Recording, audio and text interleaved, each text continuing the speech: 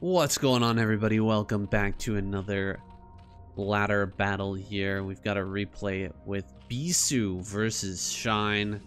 Bisu, one of those legendary players who's been around forever, who has that reputation, who has been killing it for the entirety of Brood War history. I mean, he wasn't there in the Boxer days, but this man has been clapping cheeks since before Flash even got his first title, before he even played in his first professional match. This guy was popular, and he's still out here doing it, boys. He is still out here making it into ASLs and getting all kills in the KCM, and it is amazing to see. Really, so impressed by this guy. So we're to take a look at how he's doing on the ladder right now. This was played one week ago, just one week ago. He was up against Shine here on Retro. We're to take a look at what kind of game we're to get here. Bisu, absolute beast in this matchup. But Shine, he's got a few tricks up his sleeve, man. He's always got some interesting play style to throw out and uh, give us some very good games. Now, I've actually got this map banned. I've got this map vetoed from my ladder games. We've been playing a lot on ladder, by the way, recently. Uh, going pretty well. I wouldn't say it's going fantastic, but hey, it is what it is. It's Brood War ladder. It's a grind no matter what you do. No matter how you look at it, no matter who you are, it is going to be a grind, just about 50% win rate on most of the accounts. We're around B rank. Uh, for the most parts. I think we've got one account in C rank right now, but... It is what it is. Always bouncing in between those two ranks. Never quite able to get to A rank just yet, but we're going to keep working on it. I'm going to be paying attention very carefully here to Shine, who is one of the craftiest Zerg players. And this is actually why I ban this map, by the way. Um, look at what we're seeing here, right? Bisu's in the top right. Shine is in the top left, which means that the third base, taking it over here would be really, really hard to hold. Very hard to hold. Oh, great pullback there. Oh, gonna lose one drone, unfortunately. Did pull back one of the drones uh, to safety during that fight, but um, Unfortunately, gonna lose one drone, which kind of negates the benefits of going for this build. Unfortunate there for Shine, but look at where he's had to place his third base. It's way down over here. Now just think about this, guys. Think about the situation that now Shine is in. If he needs to defend, let's say he needs to defend some sort of big uh, timing push, two base timing push from Bisu. Let's say Bisu doesn't go for like a Zealot all in or anything. He doesn't, you know, try to do anything too fancy. He just kind of torments Shine with some Corsairs. He just goes for some, you know, regular Protoss play to try and slow down Shine. And then he gears up with eight gateways and sends a bunch of Dragoon Zealot and High Templar across the map. Think about how hard it is to defend here. if you're able to defend here, it's not too bad. You can defend this little choke right there, and you can defend this right here, and it's not going to be too, too hard. But here, we're going to have to defend these two chokes on the third base, and we're going to have to defend this spot and this spot as well as Shine. Either that, we're going to have to defend here, here, and here. And that's it's just very, very hard, guys. Like, what we're seeing right now is the exact reason why I quit playing this map, why I vetoed this map indefinitely, is just it's so tough. The rush distance is really short as well. If you're playing against Terran and they're over in this spot, they do two racks against you, you can't build sunken colonies fast enough to prevent the two racks from killing you. You have to already have the sunkens ready And uh, yeah, it's just a pain in the butt. So I don't really like this map. But we're going to see how Shine decides to play it out here. He's got the Spire on the way. He's got enough lings going here. He's a little bit supply block right now. He can't actually build any more lings right at this moment. He's actually not building lings. He's building drones. He believes that he has the right number of lings here to take this out, and it appears that he is indeed correct. He will be able to uh, run these zealots down, and he should be able to clean all of them up. Does lose quite a few of those lings, but as you can see, full drone production going on behind this. Exactly what you want here. Um, this is not what you want, though, unfortunately, here for Shine. It's going to lose one drone. Bisu doing a good job splitting off one Zealot. Just typical, typical Protoss play. Very annoying stuff, but exactly what you want to do as a Protoss player to just... Oh, he loses another drone there. Bisu always getting the most out of his units, the best value from his units, and Shine Unfortunately, they're losing yet another drone to the harassment of Bisu. And this is just Bisu in a nutshell, man. He is so darn good at getting those little, little tiny bits of value every single time. Every single time he's going to grab those uh, little tiny advantages and they will eventually snowball into a big old push when he goes ahead and trades with your army that you won't be able to resist. You won't be able to hold back that giant, giant Dragoon Templar Zealot army. So Shine here, he's getting into his six hatches. He's been a little bit slowed down, of course. He's lost another Overlord here. He has Flyer Carapace on the way. So now what we're looking at with this second gas coming up is the potential for a Mutalisk transition. Now, big Mutalisk swell could be really scary for Bisu to deal with, though he is still producing some Corsairs here. It can get a little bit scary if you start to lose a few Corsairs. And Mutalisks start to get pumped, you could lose control of your main base. I'm not sure that Bisu is fully aware of what's coming just yet. He sees the uh, the, the Scourge Scout here. Scourge Scout checking everything out looking out for the potential of one Corsair popping out that he could potentially pick off here. Not going to find that right now, but he's going to be tracking these zealots coming across the map. And as you can see, I don't, there, there's no Hydra Den. We've got no Hydra Den in the production tab. We have no evolution chamber either. So not going to be uh, splurging on the evolution chamber. Not going to be researching those upgrades, those uh, very important, honestly, very important that you get those upgrades rolling here. So the fact that we don't see them in the production tab is really leaning itself towards a Mutalisk all-in now. There's the Hydra Den coming up, but it is quite late. Those upgrades are going to take some time to come online here. There's the Evolution Chamber as well. He's been focusing really, really hard on droning up as much as possible uh, you know, producing as little units to defend as possible as well, right? Just a few lings here and there, a few mutas here and there, and now starting to build up into that very, very big, scary Scourge count that's going to potentially overwhelm Bisu, who's now actually coming out on the map, and that's been spotted. Can he actually come in right now? I think that, uh, unfortunately, Shine not paying attention at this moment. There we go. He's going to pay attention now. He will get one connection on one of these Scourge. Now, some Zealots are going to try to run in here. This is actually a full wall, by the way. Zealots cannot get through this. You can put Hydras through that, that little hole there, but Zealots cannot go through that. That's a perfect little wall in here. Absolutely perfect.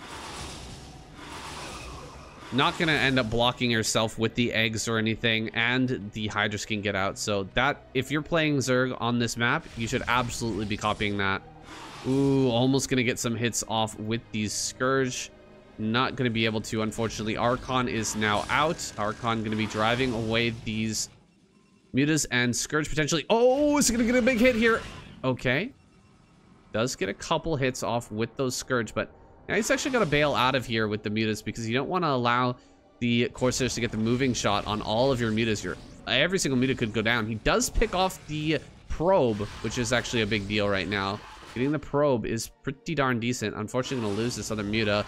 That does go down too. So he's only got two mutas. That's not going to be enough to break the main. And it looks like he is transitioning we have forgotten our upgrade though. This is something that you can absolutely end up doing uh, in these type of situations. You know, you're doing a lot of micro. You're trying to control Scourge and Mutas and get your upgrades rolling and all that good stuff. Very easy to forget this all uh, incredibly important upgrade, guys. We have plus one armor already, and I'm sure that we're going to start plus two armor here pretty darn soon for Bisu. So not having that upgrade could act just totally shut down this game. It could totally shut down this game for, for Shine. Shine, everything looking pretty darn good. The 55 workers, the six hatcheries, the, uh, you know, the setup here is very decent. He has speed. He has Lurker on the way. He's going to push in here towards the third base. There's no Templar. Things are looking pretty good for him, but that lack of upgrade, I tell you right now, guys, it is hurting him so badly in this game. It is really going to mess him up here as time goes on. We have some Templar coming down now. He can't make it up this ramp. Such is the uh, the problem with Zerg. Even if you've got, you know, two, three full groups of Hydras trying to push up this ramp, enough Zealots and a couple cannons will prevent you from doing that forever. Just cannot make it up that ramp, unfortunately. So he will have to back off. And now finally noticing that upgrade. Ooh, that, that really does hurt, guys. And I think we might see Shine try to, like, dive in somewhere and try to make this game get out a little bit out of control. But we've got Templar. Oh, great snipe there on one of those Templar. Does eat a big storm here, though, and probably going to have to back off from this position. Uh, yeah, that's not looking good We'll have to back away from this natural with this big group of hydras even if you've got you know mass mass hydra you've got so many so so many hydras two three four supply or uh, control groups worth of hydras you just cannot break into a protoss player on this map. It's just not going to be possible. This is retro for you. Guys you just cannot make it up here. Instead he's going to take double base. So two bases on the way setting up some lurkers for a potential contain. This is very awkward, though. Putting these lurkers this close to the natural is highly dangerous. Highly, highly dangerous. If uh, Bisu pushes out right now and gets on top of those eggs, you might end up just seeing lights out here. Now, he is going to get those lurkers out. He does snipe the observer as well. So there's only one observer remaining here. So maybe, just maybe, he can hold on to this position, get a couple of lurkers down here as well, you know, prevent the breakouts on this side of the map also. And then maybe he can uh, hold these bases down the bottom left while all of this is craziness is going on. He still does not have plus one, so these zealots are going to be tanking so, so much damage. We've got a DT down here in the bottom left that's being super, super annoying. Corsairs are going to get chased by the Scourge, but we need to get a, an Overlord down here with a, a, couple of Hydras at least. You know, four Hydras, I would say, would be kind of the magic number for dealing with a uh, Dark Templar that's out on the map. He's going to run forward, try to get this snipe on the Observer, but he just can't quite get it right now. Not the right angle. He will jump in one more time. He does get it. The Scourge come back to try and help in that effort, but they are not necessary as Bisu has been shoved back once again, but there's the next observer. Will he try to break out right now as the second the, the next observer shows up? Or is he going to wait for another observer here? It seems like he wants to go right now because this is the time when the, the Zerg is going to be the weakest. Can he actually get some snipes here? He gets two snipes on two different Templar. Really nice snipes there from Shine. He's going to dive on top of this Observer. Observer is so low, it's just not going to be picked off, though. The army is quite large here for Bisu, and without the uh, the snipes on this observer, he might be able to break through. There's so many units over at the rally point right now. Shine not bringing them up. Another mistake from him is going to cost him this position. And it looks like Bisu now unleashed here on the map. This is a very scary moment for a Zerg player. Right as the Protoss is getting out here on the map is when things can go from bad to worse, when things can get really down and dirty. So hopefully Shine will find a way to maneuver himself out of this bad spot. The bases in the bottom left are completely wide open. Oh man, a Dark Templar getting in here, getting four kills already, and a probe managed to slip into the bottom right. Oh man, things are really not going well for Shine right here. I don't know how that probe managed to get out here and why we didn't have an, uh, an overlord or something watching out for that, but we did not have that. Now there's so many different places to defend here. We've got to defend this location right here. We have to defend here. we have to defend here as well. Those are the key uh, locations for defense uh, if we want to stay alive here against the pressure that's going to be coming from Bisu now. He's got this bottom right-hand corner, and even if we hold these bases here, even if we manage to keep Bisu from killing us right now, Bisu is still going to have this base, and he's going to get this base eventually, and that means he has about half the map. And with half the map, the Protoss player can play, uh, can take you basically to a mine out scenario where you're going to lose, or you're going to run out of all your money and he's still going to have a lot of money left over because the trading is just too good for the Protoss uh, side. They can trade out so much better than you. You have to have more bases than them. So this is a dire situation right now for Shine Shine. Only having two lurkers here and they're stacked up. Okay, two more on the left-hand side are helping out quite a lot. The Hydras are fighting here, but the lack of upgrades is hurting so badly it is a really, really painful right now for Shine as he loses control of his rally point. This is generally how we'll see a lot of Zerg players die, how I die very often as well, is when you lose control of your rally point and the Protoss is standing on top of it, all the Hydras that are popping out are going to run in to their deaths over and over again. Make some lurker eggs here, please. All right, we're not going to do that. Some emergency sunken colonies coming down for Shine right now, but the rudding's on the wall. Bisu pushing in for the win. A lurker egg on the ramp. Gonna buy a tiny bit of time here, but what is it buying time for exactly? We've got just Hydras rallying back from the other bases, but they're gonna be eating big storms as they run in. There's so many Templar here ready and waiting for Bisu, plus all of these lurk, or these, uh, excuse me, Dragoons as well. Rallies coming across here. Bisu's taking more bases at the same time as all of this is going on. We've got just a few high just trickling in, but they can't even match the DPS of the Dragoons and the Archon standing in front are going to take the day. GG is called. Shine taps out and Bisu is successful. Yikes, guys. I I don't know. I feel like this was a bit of a rough game from Shine. There were some big mistakes that were made here that are just kind of unforgivable in this level. Even at the the you know BA rank level, these these mistakes are almost unforgivable. There's some things you can do to try and bring a game like this back, like we saw you know, Lurker Contain over here at this location, force the Protoss to fight there. Keep killing the observers. That's a way to get back into the game. Um, but not having these upgrades, man, it really, really hurts. Another thing, not rallying your hatcheries to the location where you're trying to contain. You need to send everything to this spot so that the moment that the units are ready, they're here and ready to fight, ready to hold back the Dragoons and Zealots from getting on top of your Lurkers. These are really important tactics to keep in mind whenever you are fighting a Protoss that's ahead. You have to be on top of these things. You have to have all these things in play. As we can see, going forward here, still not that plus one, and let's just take a look at the point when Bisu broke out.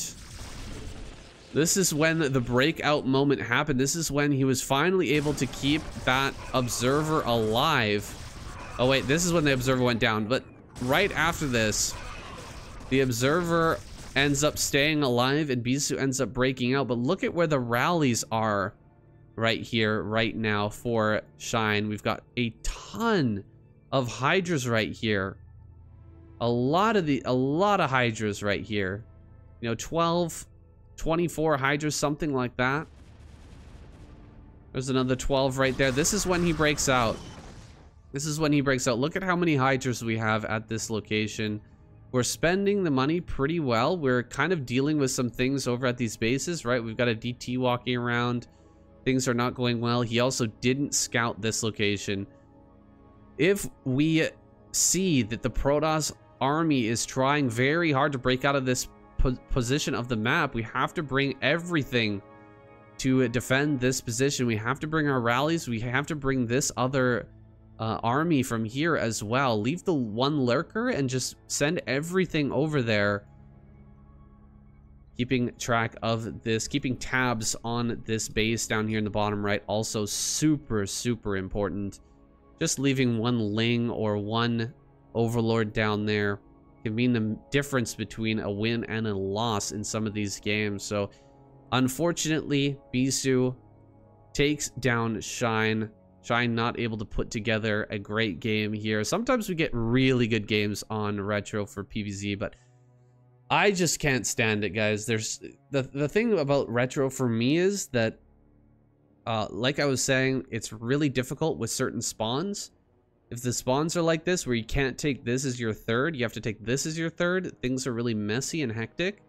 And then also, it feels really repetitive. Every time I play on this map, it's like I'm playing the exact same game over and over and over again because the way that the map functions, the way that PVZ functions on this map is, it's just, there's only kind of one way to play and it's very frustrating.